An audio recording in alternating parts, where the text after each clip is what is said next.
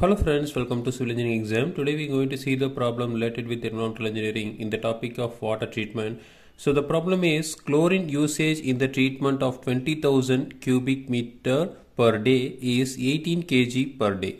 So the residual after 10 minutes of contact is 0.2 milligram per liter. Calculate the dosage in milligram per liter and the chlorine demand of the water. Okay. So in this problem, so the uh, treatment of uh, 20,000 cubic meter uh, per day, the chlorine required is 18 kg per day. So we have to find out the uh, chlorine dosage in milligram per liter. Okay. So per liter, how much quantity of chlorine is required for the treatment. Also, the residual also uh, is 0.2 milligram per liter uh, in 10 minutes of contact. Okay. So now the solution.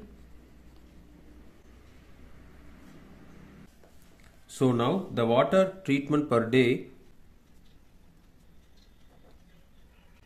is 20,000 cubic meter okay so now we have to convert into liters because uh, they are asking milligram per liter so now 20000 into 10 power 3 liters okay? So now 20 into 10 power 6 liters that is equal to 20 million liters okay? So now uh, the chlorine required per day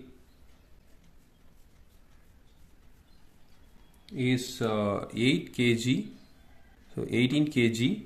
So now 18 into 10 power 6 milligrams okay so we can convert into kg into grams and as well as milligrams so 10 power 6 so now uh, we having 18 million milligrams. Okay so now the chlorine used per liter so we can uh, calculate.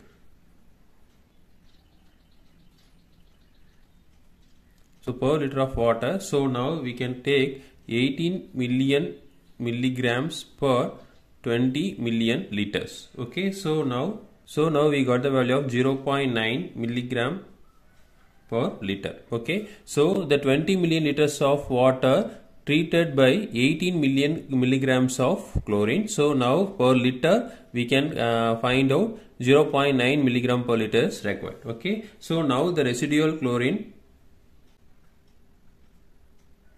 So so now actual chlorine demand